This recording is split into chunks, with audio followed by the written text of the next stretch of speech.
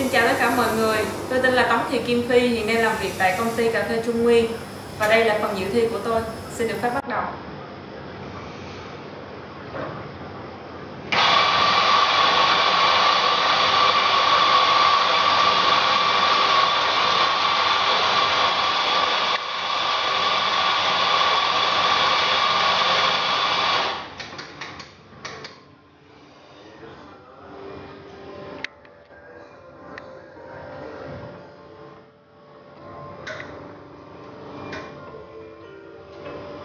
Gracias.